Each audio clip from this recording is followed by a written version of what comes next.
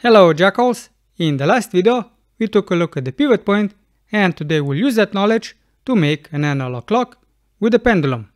The animation will be continuous, the pendulum will swing once a second and the second hand will make a full circle in 60 seconds. Now let's get digital. Now open the media pool, make a new fusion composition, right click, make a new fusion composition, you can give it a name and you can change the duration to 1 minute, but in this case I'll just use 20 seconds. And you'll see why when I get to that point. Then take the composition, put it onto the timeline, select it, put the playhead over it and go into the fusion page. Now you can make shapes in two ways and you can also use images, but I'll use the shapes and I'll be using these shapes, which you can access by going to effects, tools, shapes, and you have all of the shapes here, or you can use the rectangle, ellipse, and combine them with the background node. And if you want to know how to make a custom toolbar in the Fusion page, I also have a video on that. So first I want to make a pendulum, so I'll use two ellipses, and I also use rectangle.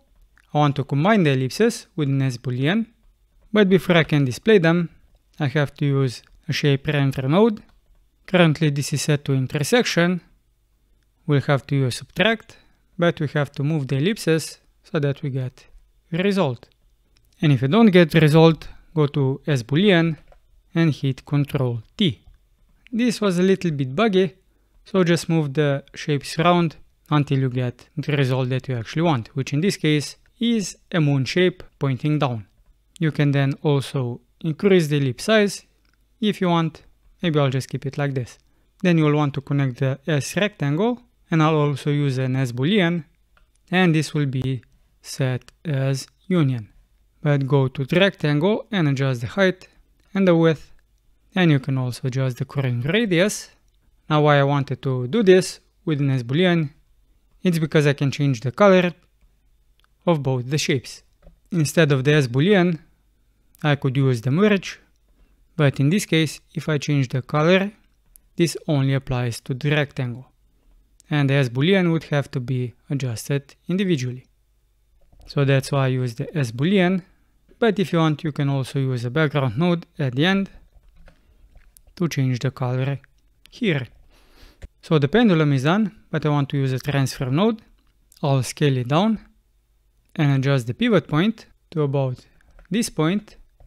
The pivot point is this X. So I'll move it up. And by doing so, you can see that the whole pendulum actually also went up. So I have to adjust the position and move it back down. Now I'll be animating the angle. So I'll do that now. I'll go to the beginning, keyframe this at minus 45. You can use any other angle. You could also use minus 30 if you wanted to. Then because my composition has 24 frames, this means that in one second, so this is actually 23, in one second it will come to frame 45. But I didn't keyframe this value, so keyframe this value now, and keyframe the value at the beginning as minus 45. So this is the animation. But from this point on, it has to go back. So at frame 47, this will be again minus. So this is the animation. It's a little bit off, but we'll fix it by going to the spline. You can have show only selected tools enabled, select the transform, angle, click zoom to fit, select all of the points, S to smooth them out.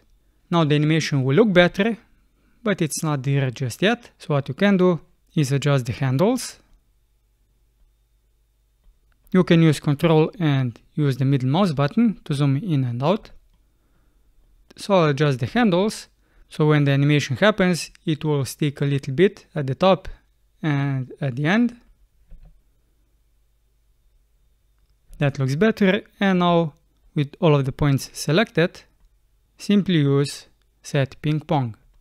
And this will make a continuous animation regardless of how long the clip is.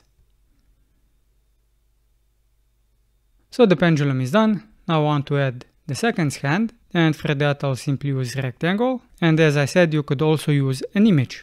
If you use an image, this would be the image, and then you want to add a transform node at the end. So this is what we have. We have to adjust rectangle and change the height. We can also use the corner radius and position it. We can use the transform node to do that. So first I'll use the pivot point and position it at the bottom. So maybe something like this. And now I'll adjust the center position. So this hand is a little bit too big. So I'll adjust the height. Now I can also add a polygon or maybe an ellipse so I can see the pointer.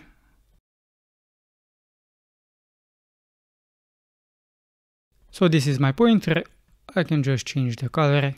Maybe something like this. Now I want to animate it. And again, for the animation, we'll use the transform node. Now for the animation, we'll use the angle, but because I've adjusted the height of the rectangle, I have to adjust the pivot point again. And now I'll use the angle to animate this. Now if the pivot point was here, where it was, you can see how this moves. So if I want this hand to move from the center, you have to position it like so. Now I'll go to the beginning and put here equals. This will be an expression because I want to have this done automatically and throughout the whole clip. So I know that 24 frames is 1 second in my case. So I can do time, which is the current frame, divided by 24. And let's see what we get. So it's moving in the opposite direction and it's moving very slowly. Let's see what we get the value at the end. So here we get 20, which is correct if you think in seconds, but it's not 20 represented by the clock hand. It should be about here, which in math terms, this is an angle of 120 degrees. So what I did is I simply multiplied this value by 6 so this is about what we want, but it needs to be on this side. So I simply used minus in front to flip it around and now we get what we want. We get a smooth animation for the seconds and the pendulum is swinging. Now the last thing that you can add, well, you can add a lot more things, but the one thing that I've added is rectangle and this will represent the hours around the hand. I'll apply a background node to this. I'll make this white. I'll simply connect it just so I can see how big it actually is. So it's too big. Make this small. Maybe something like this. Now what I want to add is a duplicate node. And I'll make 12 copies because the clock has 12 hours.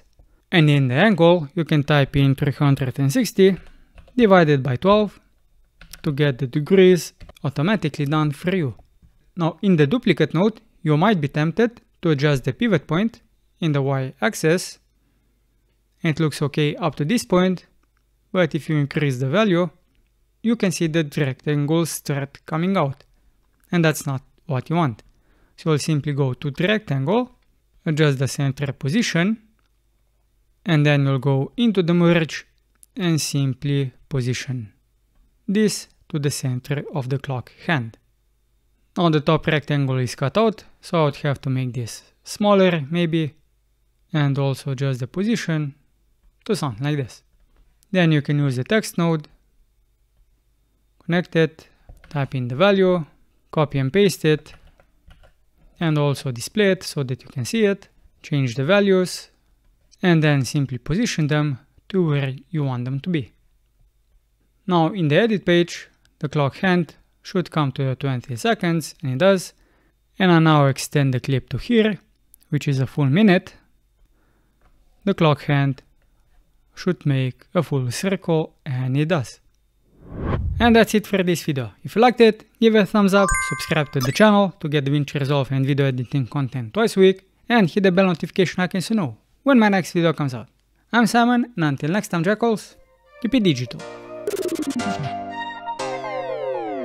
Thank you.